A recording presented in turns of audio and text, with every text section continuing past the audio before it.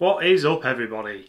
Um, today what we're going to do is show you as beginner fly tyers how to tie your first fly. Um, hopefully this fly will catch you lots of trout. We're going to tie the damselfly fly nymph.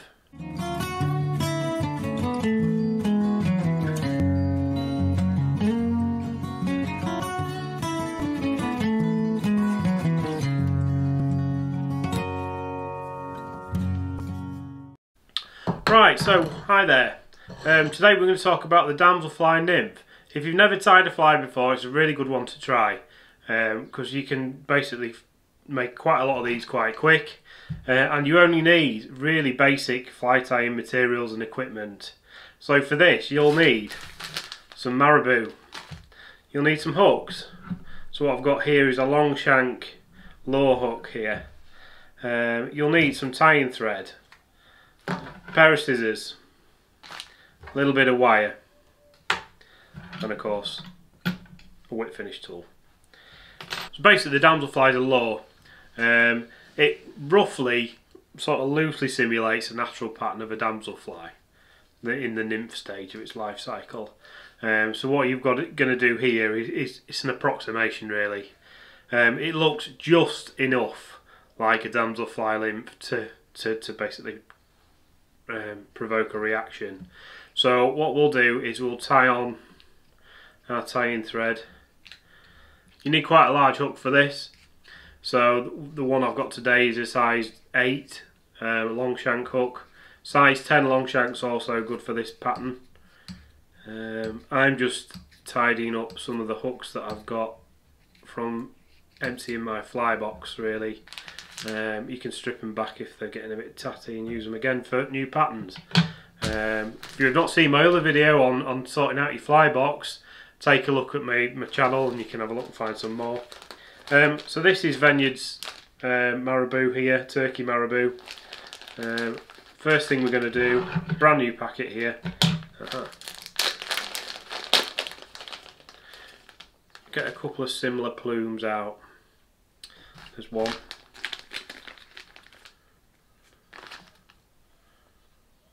These two are probably more alike. Right. Forget how long these are, because what you need is the actual tip. We'll go for this this one here. And then what we're going to do is just take that up, and you want to make sure it's a similar length. So that all the ends meet up at the same point. Don't put too much on in one go. So what we can do is, I'm going to just cut this quill and then we'll just do this. Draw it up where we've got the ends the right length. So we're going to go from about here. Right. So if we have a look at our fly we need to measure so it's roughly the same length as our body. Doesn't matter if it's a little bit longer so I'm going to take a few more of these fibres out. There we go there we are. It's a little bit longer, but that'll do nicely. So I'm going to basically start tying in with a one pinch wrap and then a couple of locking turns there, like that. So we've stacked one, take the other plume of our marabou, same thing, just measure up so that they are same length so we'll go for that.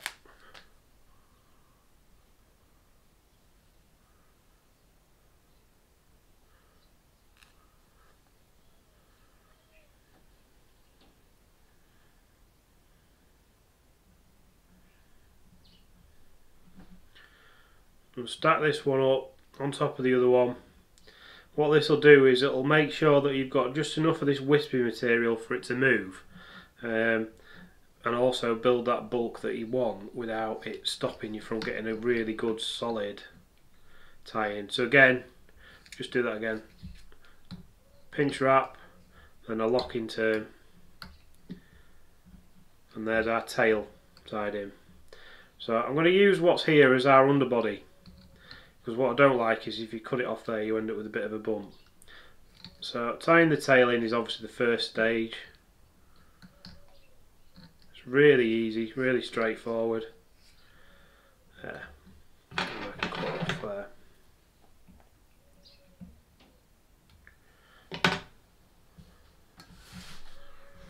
Just tidy some of this mess out of the way. What we're going to do with the next stage is take another marabou plume and we're going to make our body material. Um, but before that, I've just remembered we need to tie some wire in to make the uh, to, for our rib material. So just helicopter that till it snaps. And then what we'll do is just pinch wrap that in, fold it back on itself, and then we'll work our thread back down to the tail. If you've never tied a fly before, these are a really good one to start with. They're quite good fun. You can soon get into a rhythm of doing a few of them at the same time. Right, so what we're going to do we're going to take our quill probably about there, pinch it off, and we'll tie it in with the tips first. So just wet your fingers, just wet them fingers again bring that back like that. And then what we'll do is we'll tie the tip end, so this is the quill end, the fat end of the feather. And we'll just one pinch wrap, a couple of turns just to lock that in place and tie it down to the to our feathers. What I'm going to do is form our body with this. So I'm just going to give it a little twist just to catch all the fibres together into one place and then what I'm going to do is work this back up to our head end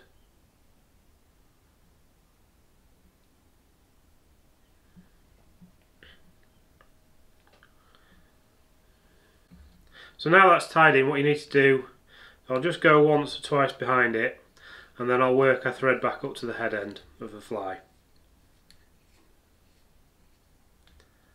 We're going to use this to form the body of the fly. So I'll give this a bit of a twist just to, to bring the fibres together into a almost like a yarn, a bit like dubbing, which we'll cover in another video. And then we'll do even touching turns with this working our way back up to the head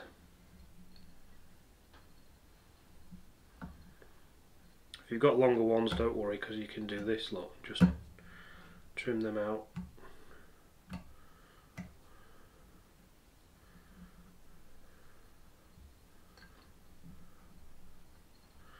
Up to the top. I'm going to go two or three times around. And that we'll just leave there for now. Because we are going to form a bit of a wing with it later. Uh, but the next stage is to do the counter wraps with the wire. So we've got a good long length of wire here, probably way more than we'll need. So what we're going to do is bring this nice and even turns, turning the opposite way round to the way that you tied the marabou. What this will do is this will make the, the marabou dressing that you put on nice and strong. And finish just behind where you've ended up with your tying thread. And do another wrap round there like that. Then you can helicopter this off. It'll snap under its own sort of it'll snap on its own if you just spin it and eventually the bonds will break. Right. So what I'm going to do is just form a little bit of a head there pulling those fibres back and wrapping round. So this will create a bit of a wing as they call it. So I'm just going to pinch with my right hand here and tear some of these fibres back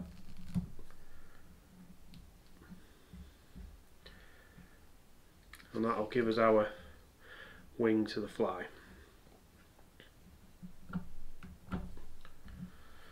Now, as a little finishing touch, this is optional, is you can tie in a pair of eyes. Now you can buy these, um, if I put this, I just pinch this between the head of my pair of scissors. Now you can buy these, um, or you can make your own. Now this particular pair of eyes is made out of strimmer cord. Um, so if you've got a garden strimmer at home, or a weed whacker I think you call them in the States, you can cut a small length of the plastic um, sort of cutting material that is used to, that actually cuts the grass for you. Um, cut a small section of that off, then get a lighter or a match, um, nip in in the centre of the piece with a bit where I've got my scissors there, um, and then melt either end and then just press down on your bench it'll form this sort of eyes. As I say you don't have to do that you can use metal beaded options for this. You can also buy them ready made for you. Um, I like this because it's quick, cheap and convenient. Um, and then what I'm going to do here is I'll just figure of eight that in. Just in front of where I've got that wing material.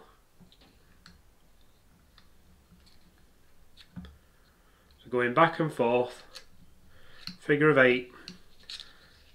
Reminds me of being in scouts when I was a kid, lashing things together. Essentially that's what you're doing here. Figure of eight across the the back of the, the uh, eyes. And then what I'll do is I'll build up my tying thread behind just to make everything look nice and neat. Now these two do take a bit of a hammer from the trout when they take, take these. Um, so you just need to make sure that everything's nicely bound into place. And that's our fly finished there. So what we're going to do now is a whip finish. You'll have probably all seen these before, or heard them talked about before. Um, just get your whip finish tool. And I'm going to do this just behind those eyes. Once around, twice around three times around and then I'll take the loop out pull tight second time we're doing this we're going to put a little bit of varnish on there on the thread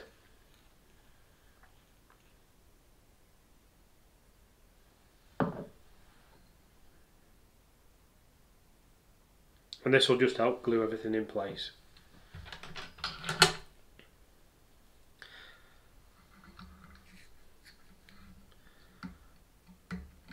Once, once, twice, three times, loop through, and pull tight. Make sure that's nice and snug. And enter in with our pair of scissors. I'm just going to apply a little bit more varnish.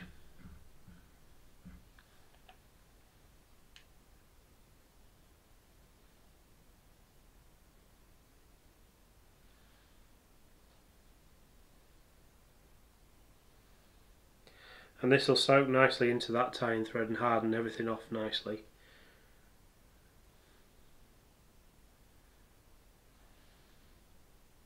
So that's our damsel nymph. You'll find them a great pattern to fish on still waters, um, rivers, anywhere really where trout are found.